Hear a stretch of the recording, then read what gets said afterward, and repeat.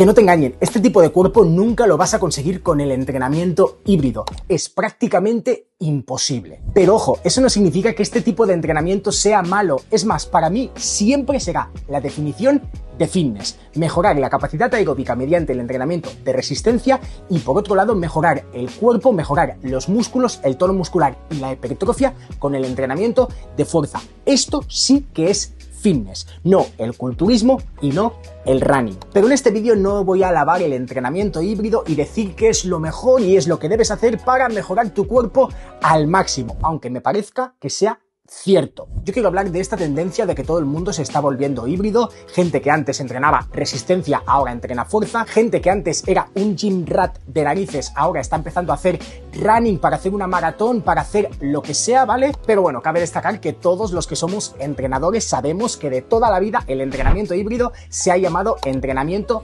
concurrente. Lo que pasa que ahora se llama híbrido y todo el mundo surfeando esa ola. ¿Qué pasa aquí? Pues bien, los máximos influencers dentro del sector del fitness te dicen que el entrenamiento híbrido es lo mejor, que puedes entrenar fuerza, puedes correr, puedes hacer prácticamente lo que te dé la gana siempre que esté bien pautado y conseguirás ganar masa muscular, conseguirás correr una maratón y prácticamente no habrá interferencias, como te digo, si lo planteas bien. Por este motivo quiero hablarte de mi experiencia.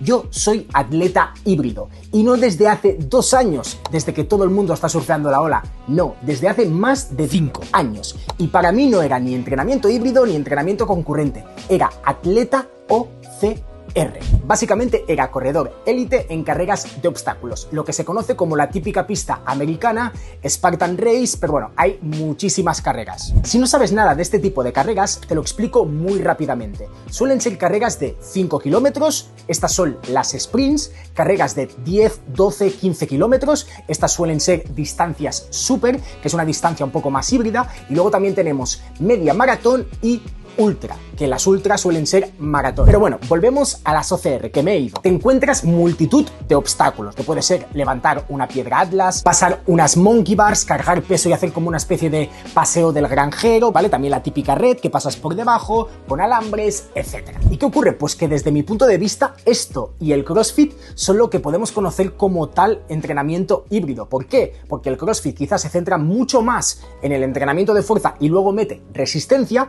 y por otro lado las carreras de obstáculos son resistencia, que por otro lado meten fuerza. Y prácticamente es lo mismo, pero se ve el cuerpo diferenciado en ambos casos. Y esto te lo puedo mostrar desde mi propia experiencia. En este vídeo que estás viendo me dedicaba única y exclusivamente a competir en carreras de obstáculos. Mi meta era intentar llegar al más alto nivel y performar, como diría Chocas, a lo bestia. Pero evidentemente estaba delgado que eso no significa que no tuviera fuerza. Podía hacer dominadas perfectamente con un solo brazo, digamos que era más algo parecido a la calistenia, ¿vale? Tenía un cuerpo más centrado en la calistenia. Podía hacer lo que quisiera con mi cuerpo. Ahora bien, me quitas mi cuerpo, igual tanta fuerza no tengo, pero tenía fuerza en las piernas. Yo me podía cargar una cadena o lo que fuera de 20 kilos y correr con ella, ¿vale? Sin problema. Fuerza tenía. Ahora bien, igual no te levantaba 200 kilos en un peso muerto, evidentemente. Al final digamos que el cuerpo se adapta a los requerimientos que tú le des. Si quieres mejorar en resistencia, pues tu cuerpo se adapta a resistencia. Las fibras musculares se preparan más para la velocidad y el rendimiento en esa disciplina. ¿Qué es lo bueno de todo esto? Pues que tú puedes moldear tu cuerpo como te dé la gana, porque sí, yo competía y era mi pasión, pero llegó la pandemia y tuve que estar parado durante dos años porque ya no habían carreras. ¿Y qué pasó? Pues que mi entrenamiento pese a que no podía entrenar cardio porque no me podía comprar una cinta de correr, cambió mi entrenamiento y pasé de ir a correr 4 o 5 veces a la semana a reducir la cantidad de entrenamientos de cardio porque lo que hacía era saltar a la comba en vez de correr para intentar mantener la capacidad aeróbica lo máximo posible, pero me centré más en el entrenamiento de fuerza y esto es lo que conseguí, un cuerpo totalmente distinto, ¿vale? Pero fue en dos años, porque me centré en fuerza. Y ya lo ves, si te centras en fuerza, obtienes resultados en relación a la fuerza y a la hipertrofia. Si te centras en la carrera, tu cuerpo disminuye la masa muscular, pero tienes mucha más potencia y más velocidad y más resistencia. Es que todo es diferente. ¿Y qué quiero decir con todo esto? Pues bien, que si tienes un objetivo de rendimiento en carrera, ya sabes el cuerpo que vas a obtener. Es imposible que con un objetivo de carrera obtengas un físico enorme muscularmente hablando. Si te centras en Y esto es lo que debes tener claro, que no significa que no puedas ganar masa muscular a la vez que mejoras en rendimiento de carrera, o al contrario, que no puedas mejorar en rendimiento de carrera si estás generando hipertrofia, si estás en una etapa de volumen donde quieres generar hipertrofia. Claro que puedes, pero el tiempo para obtenerlo irá aumentando cuantas más cosas quieras conseguir a la vez. Por lo tanto, no dejes que te vendan la moto. Los programas de entrenamiento híbrido de cuatro semanas tal no sirven con eso no obtendrás ningún cambio físico. Básicamente por lo que te estoy diciendo, porque si tú quieres mejorar en carrera, debes entrenar pensando en carrera incluyendo entrenamientos de fuerza. Evidentemente, hay planteamientos para hacerlo. Este vídeo no hablo de ello. Hay vídeos increíbles de, de Saiyan Kiwi, de Raúl Te Entrena, donde te explican cómo gestionar ambos tipos de disciplinas. Pero requiere de tiempo que consigas ambos resultados a la vez. ¿Y por qué te lo digo? Pues bien, porque de Saiyan Kiwi proviene del culturismo, ¿vale?